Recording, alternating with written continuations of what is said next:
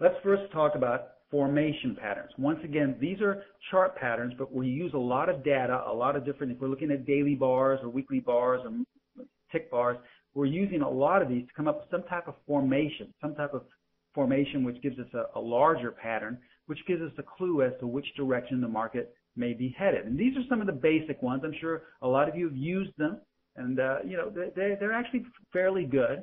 But uh, the basic ones are uh, an ascending triangle. All right, this is a, uh, a pattern here where we're looking for is some type of upward move, a downward move to, the downside, then another upward move, and then a lower move, which is not as low. So we form this kind of triangle. And on the third time, uh, the common wisdom is, is that that once we break out the third time, we will go up much higher. So this is a bullish uh, type of pattern, charting pattern. Now, in reverse, we have the descending triangle, which is the exact same thing. You just turn it upside down. We go down. We have a nice bounce. We make sort of a double bottom again, have another bounce. And on the third time, this is where you have this descending triangle where we should, uh, you know, conventional wisdom says we should break down on the third time. And this is telling you, it's giving you a clue that this particular pattern says now you have some type of downward bias. All right, so those are very common. Another common one is an ascending wedge. All right, now this is the type of thing, as you can see here, if you put some lines to this, we have a nice wedge. We've been going upwards, which appears to be a nice sustained upward move. But once we break that, this is a, a real uh, strong sign that uh, the, the move to the upside is, is over, and we're probably going to have a very sharp move to the downside. And once again, with all of these patterns, you can reverse the, the uh, concept just as easily. You have a descending wedge here, and then once the, the conventional wisdom says once we break up above this line, well, we can have a nice move to the upside and you'll really stop the downtrend and things should be going very strongly to the upside. You have a nice upward bias.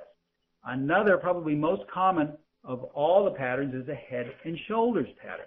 Once again, we have the left shoulder, the head, the right shoulder, and here's the neckline, all right, the support, all right? Well, the way the pattern works is once we break down, you have a strong bias to the downside, all right? And just reverse it for an inverted head and shoulders. Now, all of these are extremely common. Once again, I was using these uh, 30 years ago when I was first starting to trade on the floor. Here's the trouble with all of these, all right? Remember we talked about the first category of things being non-subjective? All of these patterns are subjective or they have a tinge of subjectivity in them. You know, where exactly do you draw the line? Uh, someone sees a left shoulder, which someone else would see as a double top or a double bottom. See, there's too much subjectivity. We want things cut and dry.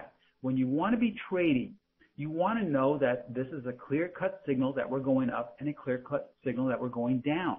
You don't want this air of subjectivity where someone could look at the same chart and see the exact opposite of it.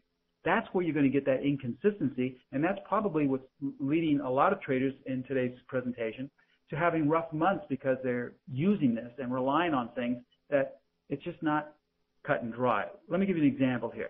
This is the dollar yen in a four-hour chart. All right, just this last month, uh, starting in the first week of March. All right, now we have a, a nice uptrend here, and someone looking at this chart could say, okay, well, uh, I really don't know what we're looking for, but someone who has studied this particular chart pattern would say, well, wait a minute, we have a clear-cut head and shoulders here. We have the shoulder, the head, double top, and then another small right shoulder. So what this would mean is that on this four-hour chart, we have a nice sell signal here. We've broken the neckline or the support, this is where you'd sell. So you just jump in and sell there, and then look what happens. So you hold on for a couple of days, and by that time, you don't want to take the loss, so you, you stop yourself out. You, you get out with a loss, okay? And as the chart progresses, we see here now that it started to go back down in our direction that we originally wanted to go. But we just couldn't wait that long. We didn't want to have that much of risk. But now, guess what? We have another head and shoulders. So once again, the subjectivity comes in, and uh, we have another head and shoulder. So, you know, why not jump in once again? We have a shoulder, a head, and a shoulder, and there's a nice neckline. So this obviously is the correct pattern. So this is where we should be selling once we break below there, and look what happens. It goes right back up. So see, there's, it, it's too subjective. It, there's not enough cut and dryness in these patterns. Now, another thing here is probably support and resistance. I don't personally use any of these chart patterns, nor do I use support and resistance. Why? I know a lot of traders do. But why? Because they're too subjective. One man's uh, ceiling is another man's floor. One trader's ceiling is another man's uh, trader's floor. It's just not cut and dry. Now let me show you an example once again.